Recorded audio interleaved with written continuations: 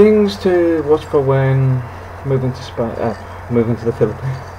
Um, I'll just do a quick 10, but these are things I know which often become an issue um, for some people. First one is paying immigration officials. You don't have to pay any bribes. There's actually a legal process, and I think half the problem is Chinese whispers. Um, a friend of mine mentioned the fact that his mother-in-law said, "Give this guy money. This is how it works." Blah blah blah. And then he was doing that for a while, and then one day he went himself um, without any help, and he just went and processed it himself.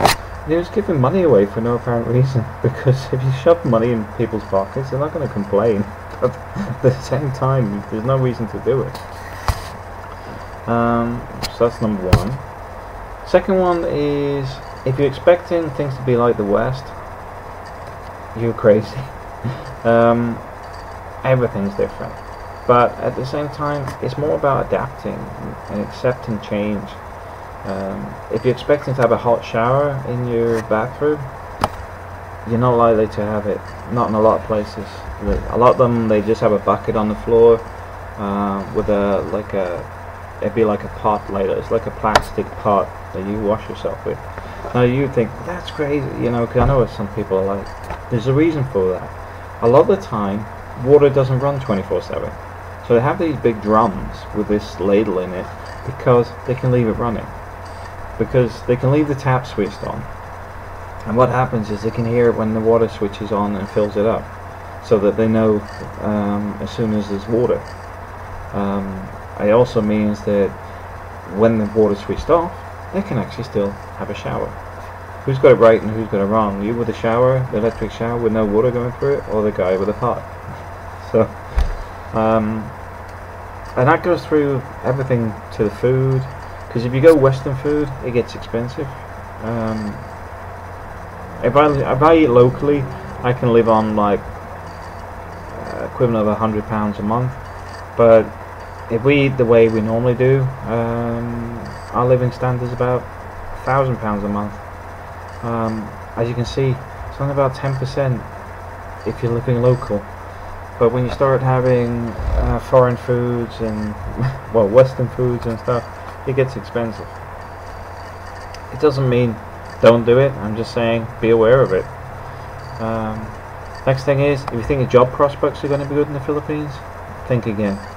Um, there's plenty of Filipinos searching for jobs, and you'll you'll find that even for a call center job, they might get 200 people apply for one job. It's a very tough market, um, but also the Philippines really hasn't opened up to modern modernization, and the fact is it should be embracing the West.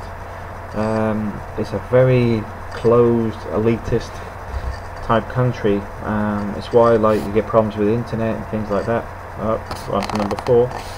Um, because all the companies are owned by certain families. So you've got certain families that control the internet, the power companies.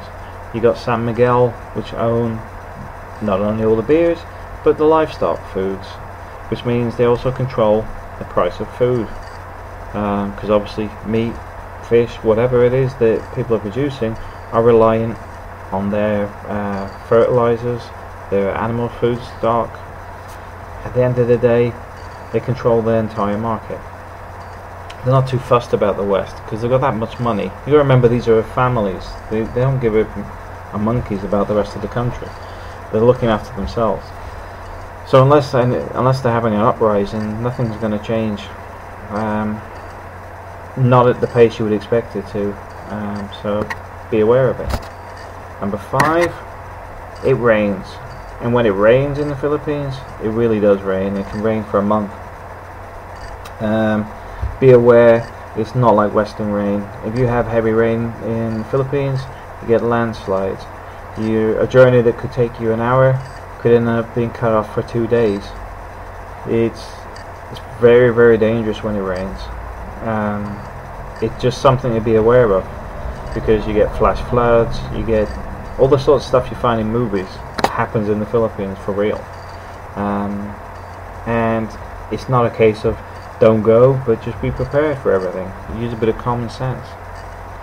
Is that number five? Yeah, okay. Number six, religion is king in the Philippines, unfortunately. Well, my view, is unfortunate because it has too much influence on politics, um, which is why the birth control is still a big issue. Um, you'll find churches everywhere. You'll find the poorest places have the biggest churches. Um, obviously a bit of manipulation, but that's that's religion for you. Um, I don't like churches. I have no issue with religion. I have an issue with church abusing people for their money. Um, but I'll cut that one short. Number seven. You get approached by women all the time. It's extremely common. Um, you could be sitting having a coffee, mind your own business, and women will come up and proposition you it's not all prostitution though. Um, some of these people are actually just looking for a foreign husband. Some people are pretty desperate. It's just something to be aware of and something just to um, sort of like shrug off and be polite, but um, send them on their way. Because you got to remember, some of these people are really struggling on a daily basis, so they don't really need abuse. They just need um, a general reminder that you're not interested. Um, but if you're not used to that sort of thing, yeah, you might find it a bit weird. Um, guess money number eight. Beggars are everywhere, um, and they also get street street sales. It's mainly child beggars that are manipulated by their parents because they know that kids bring in more money. Um, so what you'll do if you if you sit in a coffee shop or a McDonald's or something on the inside of the glass, you'll get kids come up to the window making faces and saying they're hungry and everything else. But also you can sit there and you can watch the parents like pushing the kids off to and pointing out which people for the kids to go over to. Um, I personally never give money. Um, I will give food. Sometimes I'll give McDonald's when I'm when I'm there myself. But you really shouldn't give money. Um, first thing is drug and alcohol abuse is a big thing. Um, you could actually be encouraging kids to take rugby glue, which is this little they put like in a I think it's like a bottle cap, and then they they like sniffing the glue, the glue sniffing. Um, so if you give them the money, they could actually be using it to take drugs. Give them a sweet corn, they can sit and eat it. You're you're actually doing something positive with it. But it's it's not your fault that they're taking drugs. A lot of this is to do with um, controlling people. If you've got people with a drug habit, you can control um, 20, 30 street kids and take all the money off them and they go out begging every day to bring you the money for the drugs. That is a sad state of affairs. But that's what goes on. Um, nine, Filipinos are nice. You'll find most Filipinos will not give you any aggravation. If anything, they're always happy and wanting to talk to you, want to meet you. But you will meet the odd one um, where where they will cause a problem. If you've got a Filipino that is giving you, isn't bothered by you or something, it's very likely they're going to be pretty dangerous to be dealing with. Um, I just avoid, I just avoid any confrontation with them. Um, there's been a few expats over the years that have upset their sons and other people that they had no idea who they were dealing with. Um, but there's over a million illegal firearms in the Philippines. So be aware. Um, be polite and just avoid confrontation generally. You'll find most people are friendly. The only time people get annoyed with you generally is when you've done something to them. Um, an expat being an idiot is pretty normal. But the expectation of that happening um, is pretty high. I seen it, it, when I went to Spain recently. It was just like, oh my god, I'm in my worst nightmare with um, some of the behaviour of the British expats out there. Well, holiday makers, sorry, they're not expats. But it sort of hits home how people see us. Um, you know, not you personally, but as a, um, a race, as a a nation, it all reflects on you what other people are doing. So just be polite. Then I would say transportation is something to be wary of. Um, public transport, I recommend uh, just being careful if you're on jeepneys. Pickpockets are rife. Um, armed robberies seem to be on the increase. Um, I noticed that in the last year or so, well, it'll be the last two years because I've been been away for a year. Um, there was at least six six plus robberies um, in the next town from where we live, and they're just robbing the jeepneys, like every passenger in there.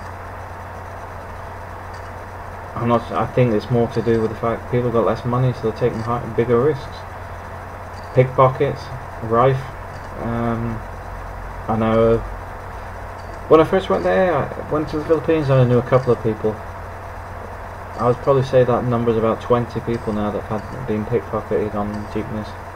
Um, same with the market areas, they're high risk. But also be aware that they're not properly built, the vehicles. Um, a lot of vehicles are just spot welded and thrown together. Um, the jeepneys, the, the small ones, they're uh, they're made out of the Suzuki's, Daihatsu's, that sort of thing. They're death traps. If they they're, if they're in a crash with a bigger vehicle, they just fold up like a tin can. So careful on those.